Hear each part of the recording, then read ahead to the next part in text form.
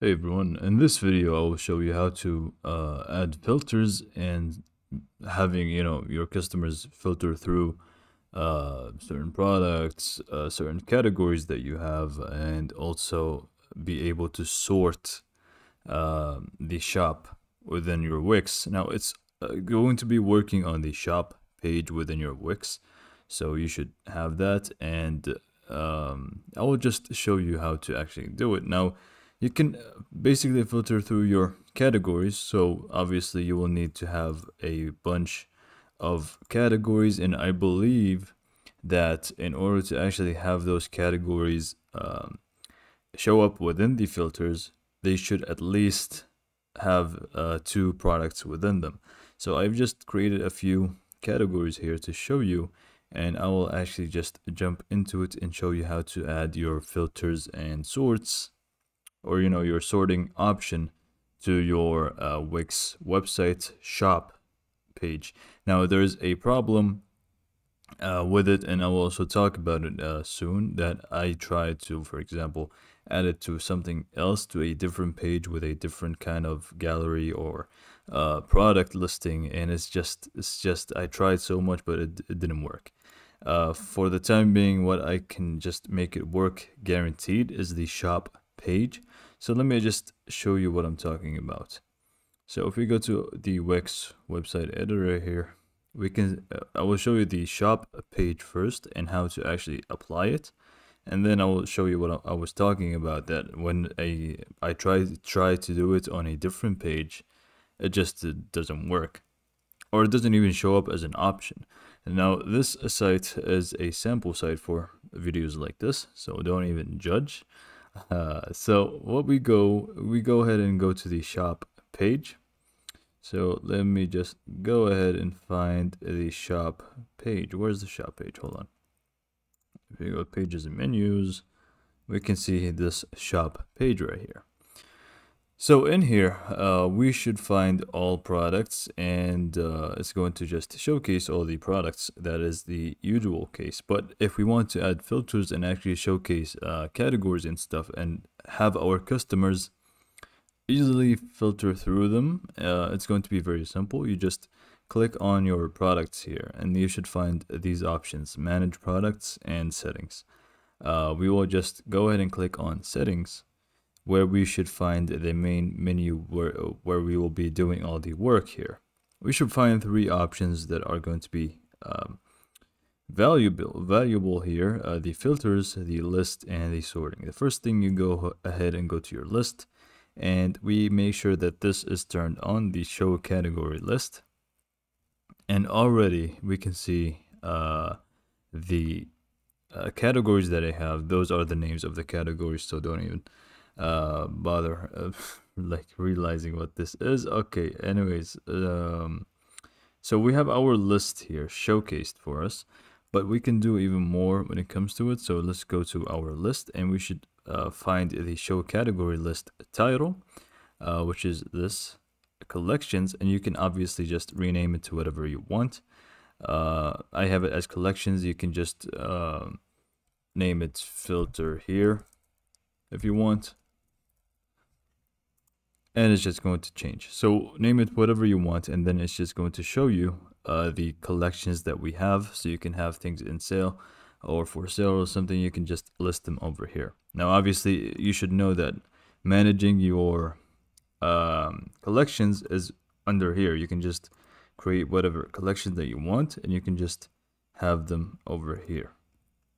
Now, uh, another thing which is very cool is if you want a specific um, collections to be listed, not all of them, uh, you get these options here. So sync all my categories automatically, which means just, you know, show all the categories that we have. Or if you want custom, where we can just, you know, select a specific few. So uh, let's do test collection and testing grounds too. And we can also rearrange the order and it's just going to do so on the left panel here as we can see. So it's going to be, going to be down to us whether we want to sync all of them or choose a few.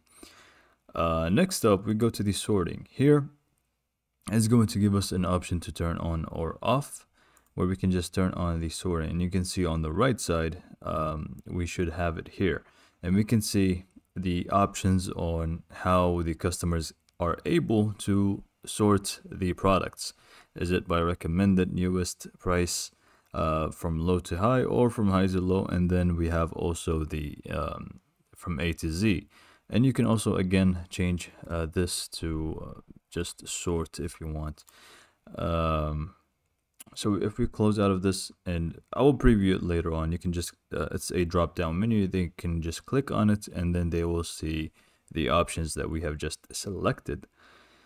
And lastly, uh, what we have is going to be the filters where we can just first turn it on. Uh, and then we show the filter title, which is filter by. You can again change it like the others uh, and we can also show applied filters section. So uh, here we get to see the categories, we get to see the price, we get to see the product options. If you want, you can just uh, hide them or edit them. I believe there was a an option to create a specific one. Hold on, let me edit the price. Okay, so apparently we can just edit the names. I, I swear it was different, where we can actually create our own filters. But I guess they have uh, changed that. Anyways, so here we can just, you know, do the filters, select the categories that we want to be filtered through, uh, and also the price and product option here. We should instead have create a filter. Uh, anyways, apparently this is what we have to work with. So here we go. we've got our filters here. We've got uh, the filter, uh, the, the, the list here. And then we also have the sorting. So here is just going to show us the, uh, the collections and here the filters. It should show us the price and all of those things, the product options, as well as the uh, collections if we want. And we can just remove that from here. If we go to filters because we already have it so instead of having it twice we can just hide this and then it should be hidden. Okay you can see this is the pricing filter. Okay so let's just um, save and preview and let's see how it actually looks like so let's just go ahead and preview just give it a sec Okay, so we've got to the pricing uh, filter here. So from low to high, and we can just do that. We can get we can get the color, size, and uh, different variants. If you want to filter through those, and obviously testing grounds is the collection name.